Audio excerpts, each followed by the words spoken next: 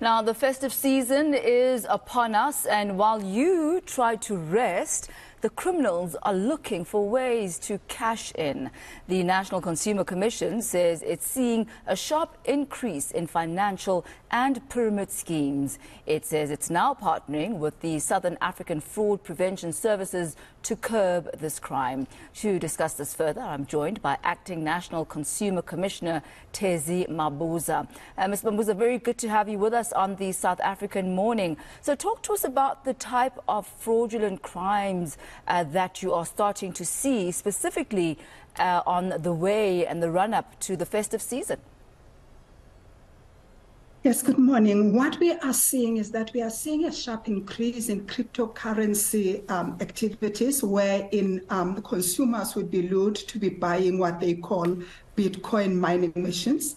And then at around like starting from uh, an investment of 300 to like 450,000. And then they purported that they will get daily incomes. But those machines, actually, we know that you don't have a Bitcoin mining machines.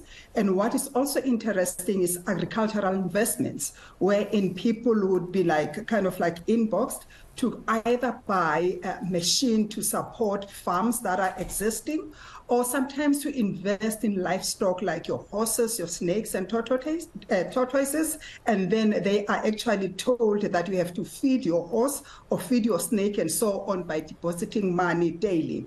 And others that we are seeing that are now starting also to be a headache, it's where in, in um, consumers are also lured to kind of like invest in alternative power sources wherein they buy investments from fake companies that will be saying that they have either a letter from the Department of um, Energy wherein they have to build a solar plant